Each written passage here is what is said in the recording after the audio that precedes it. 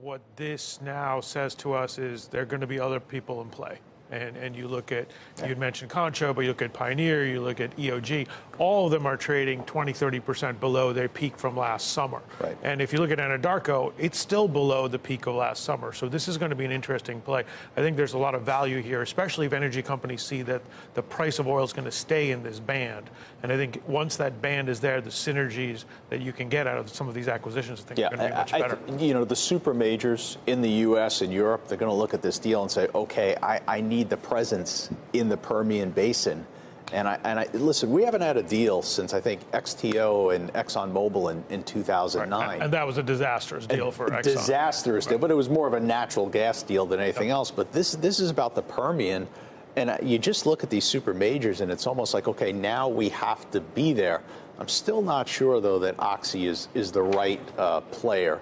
In. Buyer desperation is a is a motivation, but then you look at the stock prices of Occidental and Chevron, Right. and you say, you know, it's it's obviously going to be a, a winner and loser equation. It's not like uh, Yeah, and, and again, Occidental's a company that's kind of made the commitment to not pursue the inorganic growth, and the return on capital is so important to them. I think it's got a 5% dividend yield. That's so strategically important to them. So I, I'm suspicious Yeah, of thi- the, you know, if this fully aligns. I, I think you're right, and I think as a as an Anadarko shareholder, you probably want more of a Chevron there, just because you know the deal's going to get through.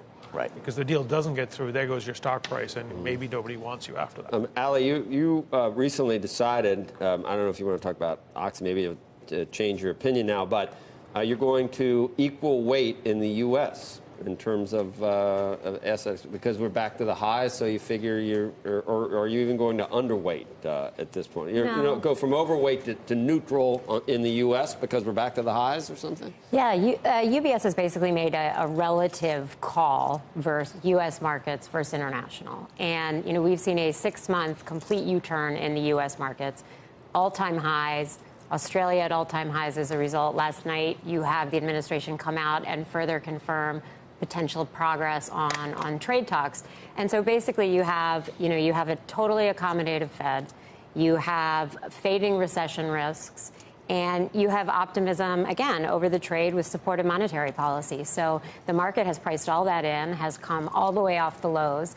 And, you know, basically what we've said there is a lot of the tailwinds that have pushed us up over, let's say, the last year and a half are, are really fading. We have a strong U.S. dollar. We have the tax package really behind us.